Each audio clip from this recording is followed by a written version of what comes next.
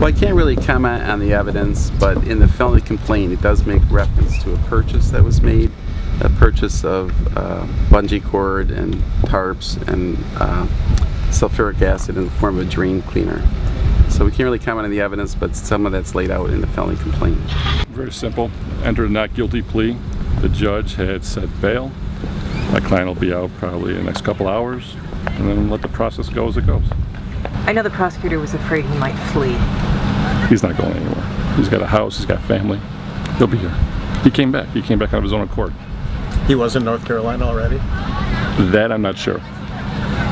But he was here. So. This is where the evidence has led it this far, and of course we'll file the evidence uh, with the next step as well.